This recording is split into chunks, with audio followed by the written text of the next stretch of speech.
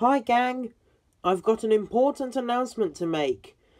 Today is the day I get a brand new coat of paint.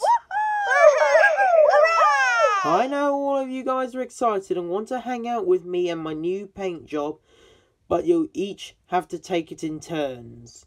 Okay? Thank you. Now, I'd better be off. Goodbye.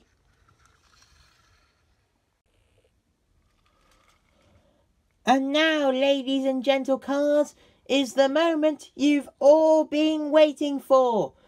May I present our new king of Bumperton Hills, Cory Carson.